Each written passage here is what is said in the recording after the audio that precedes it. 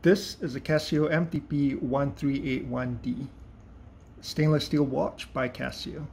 It's a um, dress watch with a full weekday complication and a date window.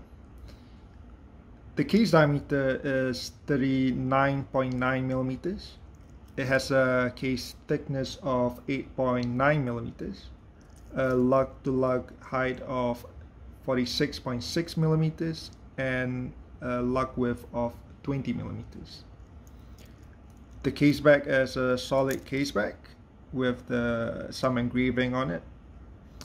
It has a push-pull crown, as you can see, a mineral crystal, and 15 meters of water resistance. It's a quartz movement, uh, has a silver dial, and a textured silver dial, but we'll get to that in a bit. The hour markers are applied with printed minute tracks. It says at the bottom that's a Japan movement. The bracelet itself is a hybrid Jubilee, a hybrid, I guess, oyster bracelet with polished center links. It's not the best bracelet. It's it is a cheap watch or a, more affordable watch, so you can't really expect much. The bracelet is comfortable, but it has that that lack of uh, flexibility. The clasp itself is really good. It has quite a few micro adjustments, um, letting you get the perfect fit. As you can see, there are four positions for the bracelet itself. So you can get quite a good fit, unlike say even a Seiko Sharp, which costs a lot more than this. At the time of making this video, I saw that this watch, you can get it for about 50 USD. So it's quite an affordable watch. Quite a sleek design. It looks, has a really dressy, classy look to it. And again, I really like day-date complications in a watch, and this is one of the more affordable day-date watches you can get out there.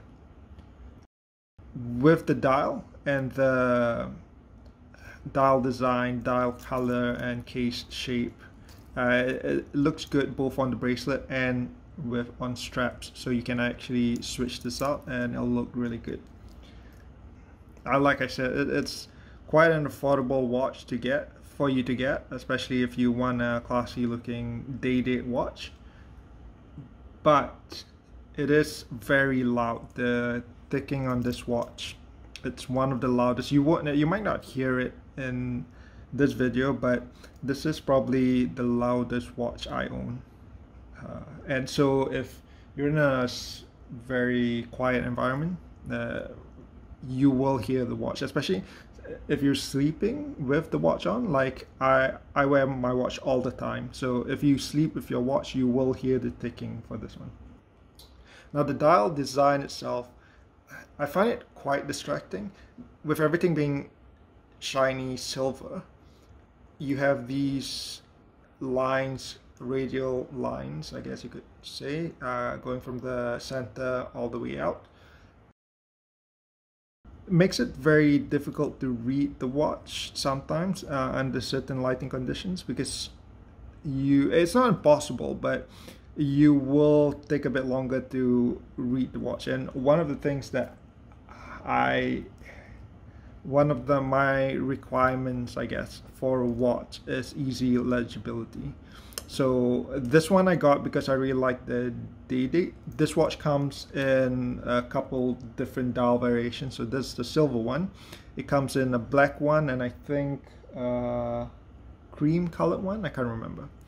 Now I think the black one might be easier to read than this one. But I got this because I wanted a white dial, silver dial watch uh, at that time. Uh, that's it I think I would have been better off with the black dial. For the function of the watch, there's uh, the first position will change the day and the date. Just a quick set uh, function. and then pull it again uh, it stops the so it's a hacking movement it stops the second hand and then you can adjust the watch itself. It's a very smooth operation. Now I think maybe that's just because it's a quartz watch. I don't have that many quartz watches so I can't really compare. But compared to a lot of my mechanical and automatic watches this is quite a smooth movement. And yeah that's a quick review of this watch. Now would I would I recommend buying this watch? If you're on a tight budget or this is your first watch uh, I think yeah it's a it's a very nice looking watch for the price point. But I think if you're able to spend a bit more uh, there are better watches out there than this one especially because of the ticking. Now it's just basically the ticking that gets annoying. So if you're okay with the sound I guess it's fine. The other thing is the bracelet feels quite cheap but again that's the uh, you're paying 50 USD for this watch so you can't really expect too much. Now once you put it on a leather bracelet uh, or leather strap yeah that, that fixes the issue the other thing I, I, guess what i covered before is the legibility that's the one thing that uh, prevents me from pre- prevents me from wearing this watch too too often it's because of how uh, how difficult i guess it's not easy to read i won't say that it's impossible to read or really really difficult to read but it's not instantly legible when you glance at the watch. So that to me is quite a weak point. Thank you for watching.